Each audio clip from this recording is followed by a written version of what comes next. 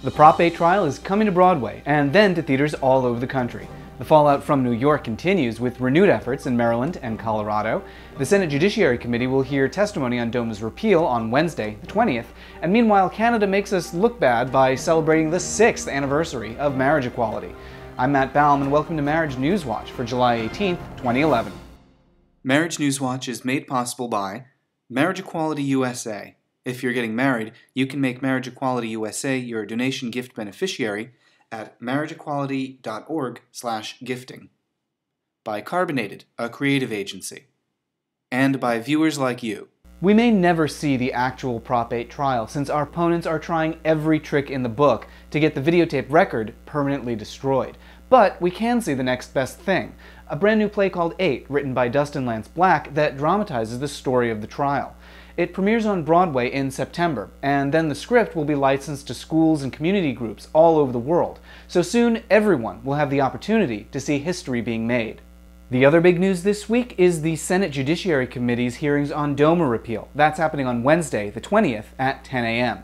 Witnesses will include couples who face marriage discrimination, as well as Joe Solmonese of the Human Rights Campaign and Evan Wolfson of Freedom to Marry. With the start of marriages less than a week away, New York continues to make headlines. This week it was revealed that New York Mayor Michael Bloomberg made good on his promise to financially protect lawmakers who made the right decision in voting for the bill. Meanwhile, momentum from that state continues to spread. Equality Maryland seems to have moved past a tumultuous first half of the year that nearly caused the organization to disband. This week they announced a new plan to pursue marriage in 2012, with increased support from coalition partners and from Governor Martin O'Malley. Meanwhile, in Colorado, a group of citizens is planning a ballot measure to overturn that state's marriage ban. Their chances are not good, but it's sweet of them to try, and anything that keeps the conversation going is a good thing.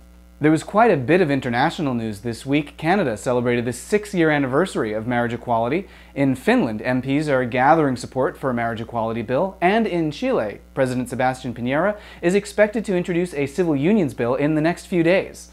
Those are the headlines. Visit us over at marriagenewswatch.com for more on all those stories and more. We'll see you next week. Marriage News Watch is made possible by Marriage Equality USA. If you're getting married, you can make Marriage Equality USA your donation gift beneficiary at marriageequality.org/gifting. By Carbonated, a creative agency. And by viewers like you.